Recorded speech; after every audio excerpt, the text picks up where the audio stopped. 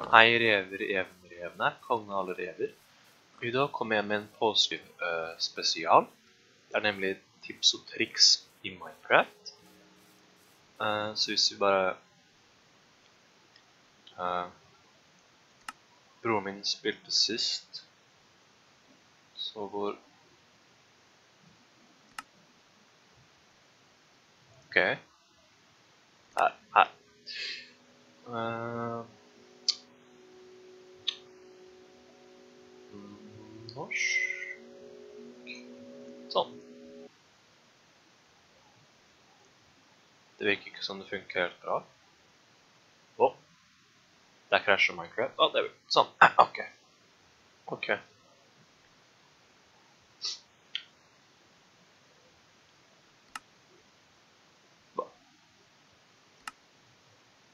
Det er noe feil med Minecraft. Altså. Jeg får bare helt tilfeldige språk. Norge.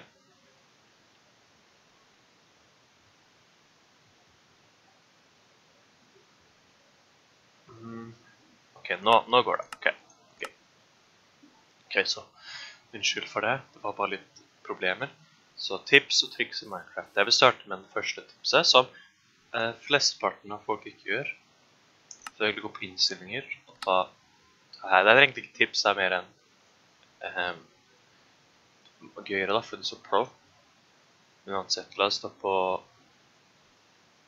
her. Vanskelighetsgrad. Som man ikke ser helt, da, fordi Minecraft på norsk er ikke helt optimalisert. Men hvis man tar på fredelig, så slipper man masse Man slipper de uh, mobsa, man slipper zombiene, man slipper skjelettene. Og best av alt, man slipper nemlig food. Så man kan bare løpe rundt hele tiden og finne diamonds hvis man så ønsker. Og det virker ikke som folk har fått helt med seg, fordi mesteparten av nettspillene jeg ser, har bare ignorert det helt.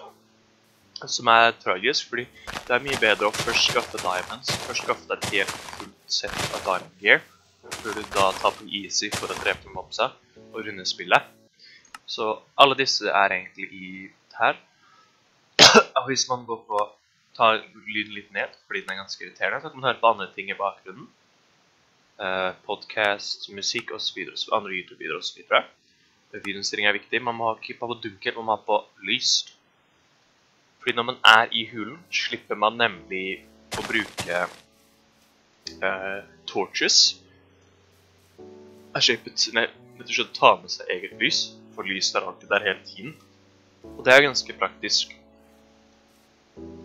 Og når man løper rundt i Minecraft, er det også gøy å hoppe litt rundt. Fordi da føles det som man gjør det mye viktigere. Og hvis man ser Jeg skulle visst hvorfor man burde ta Quake Pro. Å, hva? Ok, så hvis jeg løper nå virker som jeg løper engang. Hvis jeg tar Quake Pro Da flyr jeg fremover. Det er jo den viktigste delen, er å ha det gøy. Den morsomste delen av Minecraft er å løpe.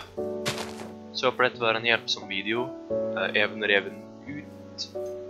Jeg håper dere får en fin påske. Takk for meg.